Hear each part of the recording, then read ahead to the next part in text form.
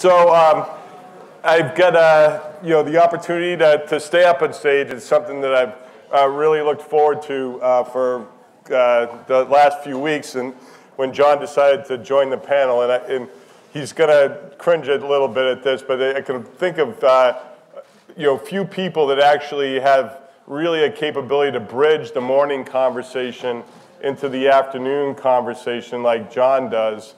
Um, I've known John for about 20 years now. Um, John's background is as an Air, Air Force officer. He recently retired as a three-star general as the partnerships uh, person for the, the Director of National Intelligence. But he has a really strong background both in cybersecurity. Uh, David Sanger mentioned a program called SNIP, uh, System and Network Intern Program, and uh, he also mentioned TAO. And John came to me when I was in Squadron Command back in 2000, 2001, and uh, served as my deputy as we started one of the Air Force's first cyber units, uh, which at the time we called an information operations unit. So you know, we've already watched the circle turn a whole, a whole uh, cycle from just cyber back into cyber and, and influence. But John has also served the nation this nation as uh, a senior intelligence officer, including being the director of intelligence uh, for the European Command.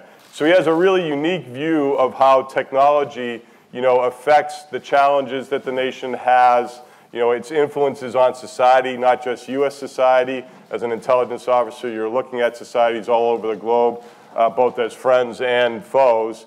So he, he's thought deeply about the, you know, the nature of, the, of technolo technological change in addition, in addition to, like, to cyberspace. So, uh, you know, welcome to the stage, and I think we'll have a, a great conversation. It's going to be relatively brief. So, uh, you know, we, we agreed with the conference organizers that John and I are just going to carry on a conversation, and we'll move uh, to the coffee break after that. And, um, you know, Jay, if you could just give me a sort of cue as to when we need to, or Jen, to wrap it, to, to wrap it up.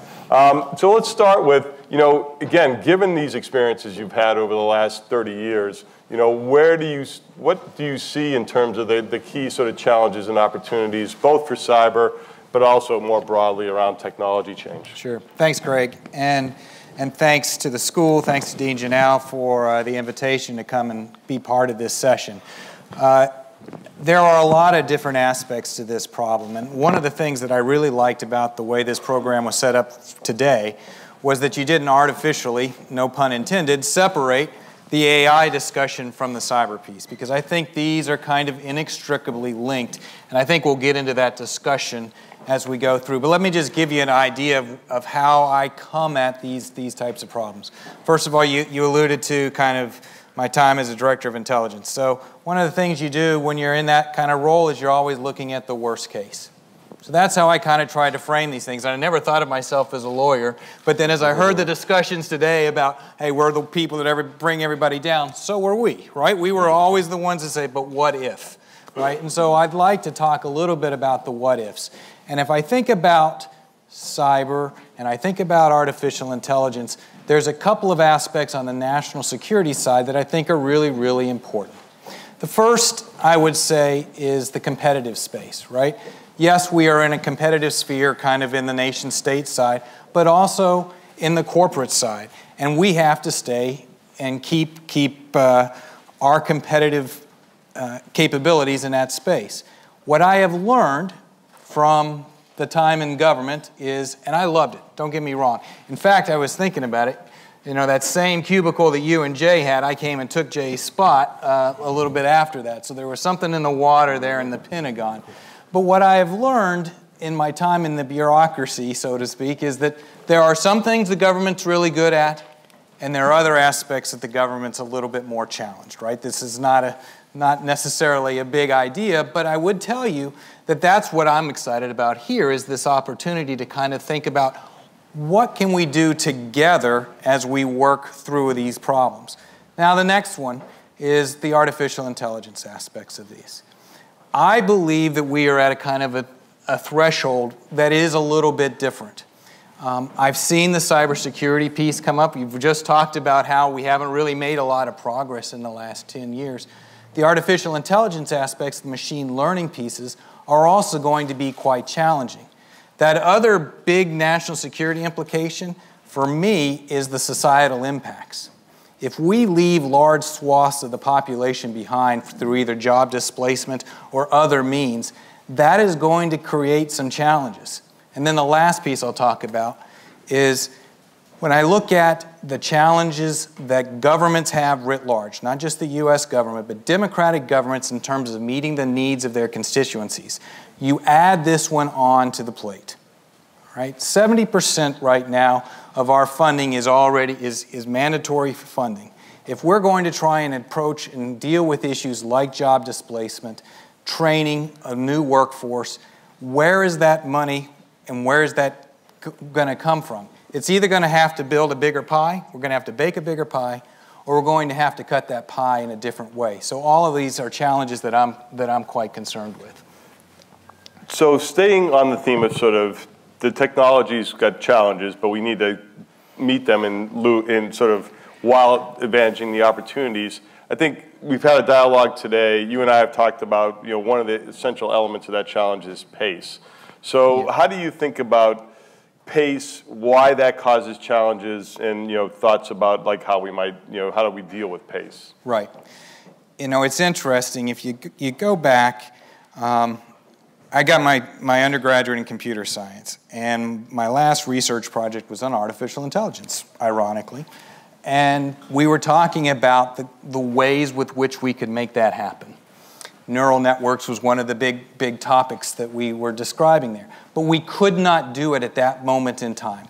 We didn't have the compute power, we didn't have the storage capacity, we didn't have the data to actually instantiate what we wanted to do. Now we have that. And so what you're seeing now is the pace of change is coming really, really quickly. And when you have that level of pace, that level of change, it's often difficult for bureaucracy, for a government to respond to that. Uh, one of the things I, that I looked at recently was the OECD. They, they recently released a report on the future of work, if you've seen it. I thought that was an interesting report, and what it suggested was it's not necessarily dystopian in terms of what we can expect, but that there will be challenges.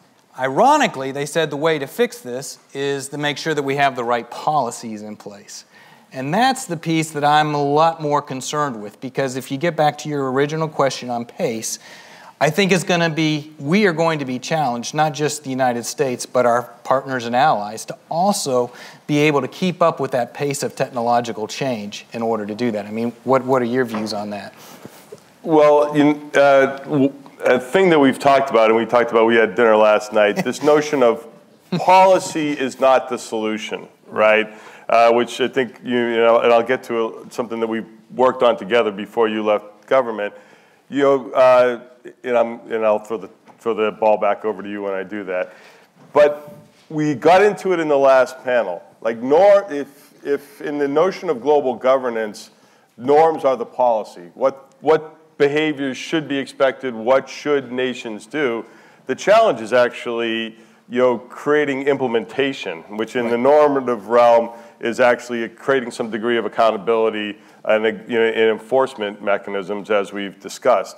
The, the challenge that you know, we've had in terms of collaborating in cyber defense for the nation is that the, op the operating environment now exists in the private sector which as a, national, as a former national security and as a recent national security official, you know, this flips everything on its head, right? Where, you know, basically national security concerns are the purview of government and governments have to decide, you know, what actions will be taken. But that does not work well when cyber attacks, at least attacks at the level of, you know, coercive behaviors between nations, are occurring in inherently private systems and at the front line is the security operations centers of, of, of private companies. So, uh, you know, I guess, John, how, do you, how much progress do you think we've made on that? And is it harder to get progress on policy or is it harder to get progress on actual operational capability? So, yes, right? and, and the reason I say that is the expertise for operational capability, you just referred to it, right? That's in the private sector. We do not, nec- we, we quite frankly do not have the expertise uh, within the government to be able to build capabilities like we need to. So we're going to have to have a strong partnership to be able to do that piece of it. We go back to the policy front. I want to just step back for a second and look at the history just from, from what I've seen. So cybersecurity, right?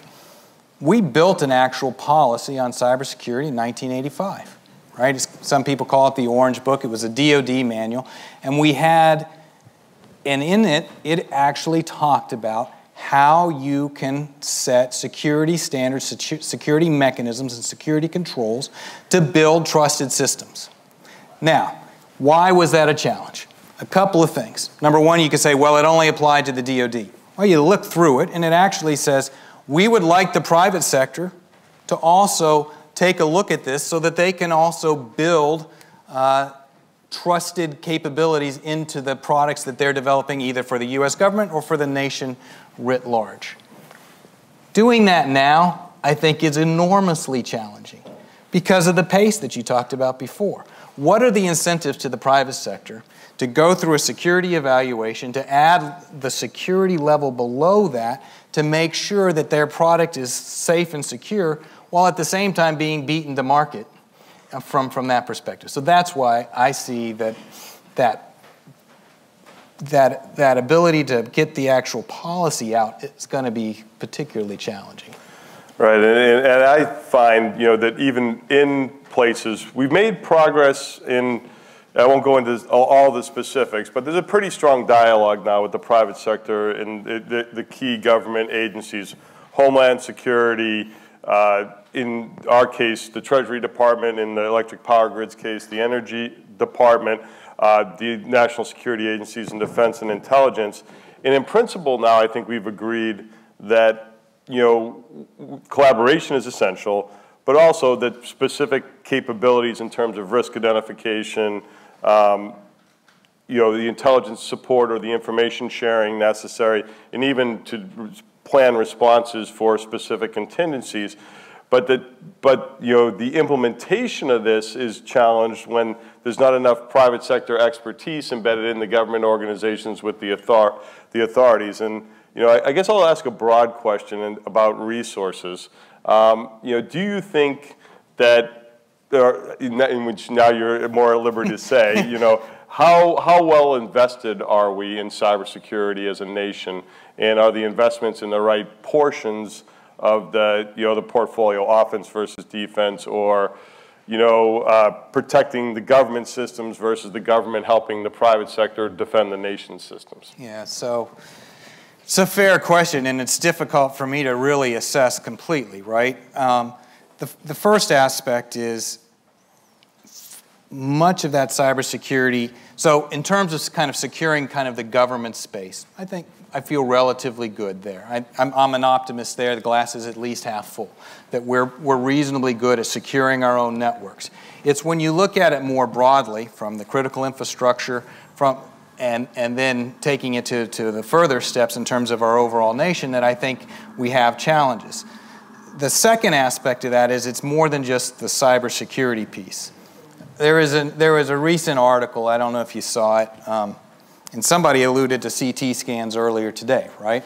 And so these are Israeli researchers. They were able to look at um, actually change CT scans and add cancer nod nod nodules or remove cancerous uh, indications on these CT scans. So, first of all, that's a concern, obviously. If somebody, you either misdiagnose somebody that does have cancer or you suggest that they do. It fooled a lot of the radiologists that looked at it.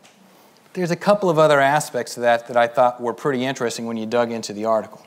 The first one was the reason that they were successful was they were actually intercepting the images as they went across an unsecured network.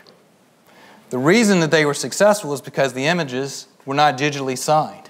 And so you have this, this challenge right now um, beyond just the policy piece of people that may be developing a capability, an AI capability, in a vacuum without also thinking about the security, cybersecurity mechanisms that are also going to be required to secure that overall system. So, in other words, I think you're going to have to be able to have uh, teams that can, can both build capabilities from the AI, the AI functionality, but also recognize the cyber mechanisms that are going to have to be a part of it. Whether that's a policy piece, I moved away from your question a little bit, but whether that's a policy piece or not, in terms of trying to keep up with that, I think is going to be a significant challenge. Well, let, let, I want to build on that because uh, the notion of how interdisciplinary or multidisciplinary are solutions.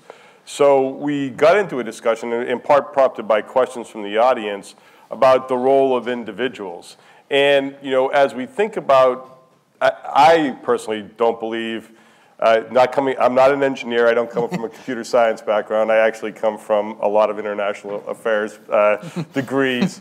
But you know, when I think about these problems, they're not going to be solved technically. I mean, the holy grail for technologists is to build boxes or encryption or systems that really are bulletproof and won't be hacked. I believe for some of the reasons that you've said and have been discussed, the economic incentives uh, you know, will result in systems that are less than fully securable. So then you start to get into this layered set of mitigations that include governance, which we've talked about, but also, you know, uh, the behavior of individuals. So what are the set of disciplines necessary and are solutions, can you solve these things in acad academic or, you know, um, sort of intellectual stovepipes, or do you inherently, should we be seeking more multidisciplinary solutions? Yeah, for, for me, I think the answer is the multidisciplinary approach, right? And not just from kind of, and not just all within a techno technological place, right? Don't just bring the cyber folks and kind of the AI machine learning team together. I think that's one aspect of it. Um, but remember, I can't remember which panelist it was that talked about it earlier today, but it was basically saying that companies sometimes are surprised that that the capability they developed was used in the way it was when it was used exactly as it was supposed to be used, right? So for example, we know we don't want an automated vehicle to hit us, right? That is great. That's what I want built in. But it also makes it pretty easy to take it even a step further of not only having to figure out the trolley problem of which person am I going to hit if there's several people on the road, but also it enables a form of civil disobedience, anarchy, etc., that has to be thought through. So there's a behavioral piece to this. So that's where I'm going with this, is how can we set things up that take advantage of how individuals behave? I think of, of kind of the behavioral economics side of this, right? In terms of, of how can we, in essence, nudge good behavior? What are the default settings out of the box on IoT? That would be a really good one just to make sure that we don't rely on the, the human element here to have to do all of the security configurations. Right. That's one aspect. I'm sure there are other pieces that I haven't thought of, other disciplines.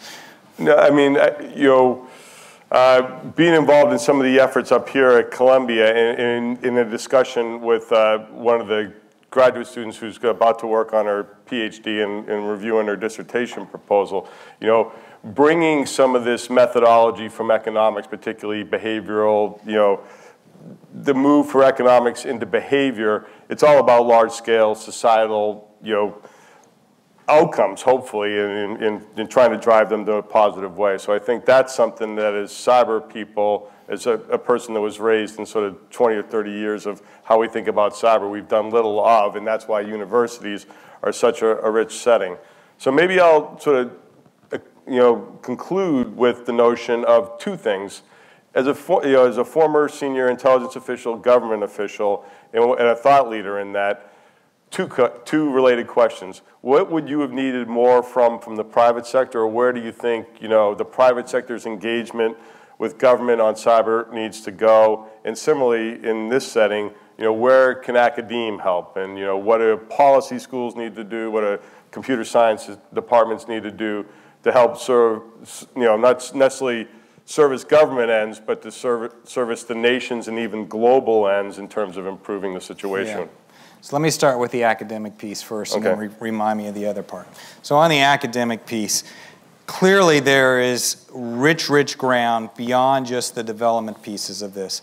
Um, the research into vulnerabilities, how to provide secure systems, those types of pieces, that's, that's certainly one really, really important aspect of it.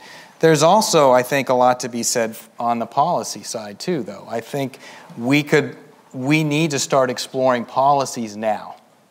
And for example, let's take this, this whole concept of what are the policies, what's the right policy going to do if, if in, it does turn out that large segments of the populations, not just the United States again, but across the, the world, are displaced.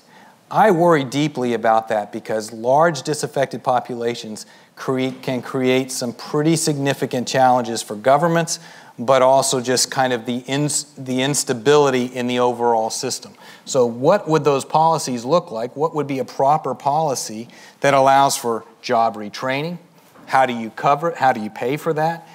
Um, what does that look like in a democratic institution, democratic government versus non-democratic? I so again, there's a lot of, I think, really important work that could be done at both the policy side and also the technology side in the academic setting.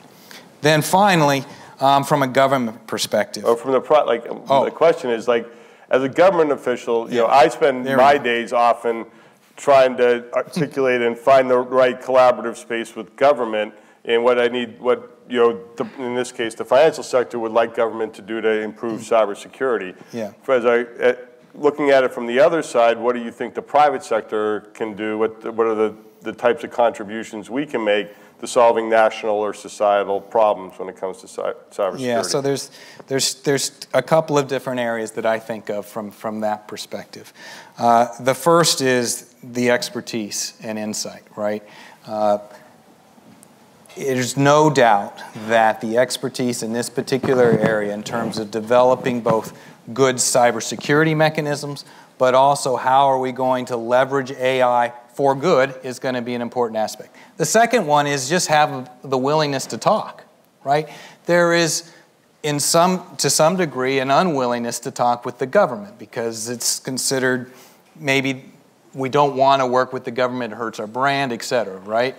Right, and, and just, you know, to nuance that a bit, there's concerns, I think about brand or too close a relationship to the government. You know, I, I'm gonna broadly characterize this as West Coast concerns due to revelations.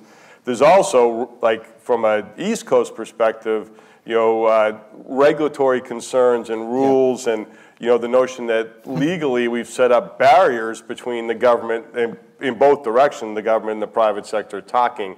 And, I, you know, in this realm, I think we as a nation are actually disadvantaged because that wall between government and the private sector legally, and we pay attention to it, is much higher Yeah. than almost anywhere else on the globe, in my estimation, even in other democracies, right? So we have a harder time with this collaboration than I think many, most other nations have. Yeah. So I'm, I'm getting the nod from Jay, and, and I know that everybody wants coffee. So I agree with you completely. Uh, it's, it's a great dialogue that we can continue over coffee, and thanks again very much. Right, and it, thank the audience. Uh, both John and I will be here through uh, the course of the, the remainder of the afternoon and the, the reception. So if there's any questions, please, please grab us. Yep.